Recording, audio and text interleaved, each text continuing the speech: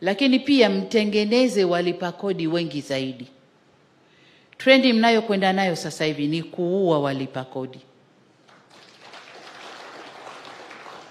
mnaua wafanya biashara, mnatumia nguvu zaidi kuliko akili na maarifa kupata kodi.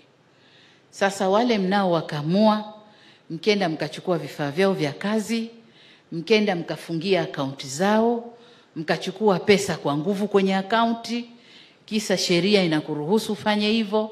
Akitoka hapo anakwenda kufunga biashara, anahamia nchi ya pili, mnapunguza walipa kodi. Naomba sana, nendeni katengenezeni, mkatanue wigo wa walipa kodi.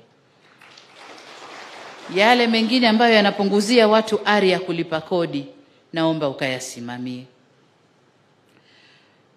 Uh, baada ya kusema hayo, niwatakie Pasaka njema. Tunamaliza Pasaka lini? Jumatatu, si ndio? Easter Monday, si ndio? Pengine Jumanne tutakuja kuwapishana hapa na wengine. Niwatakie kila la heri na Pasaka njema. Asanteni sana. Tumpigie makofi mengi sana Mheshimiwa Samia Suluhu Hassan, Rais wa Jamhuri ya Muungano wa Tanzania. Asante sana Mheshimiwa Rais kwa hotuba yako. Tukutane Jumanne.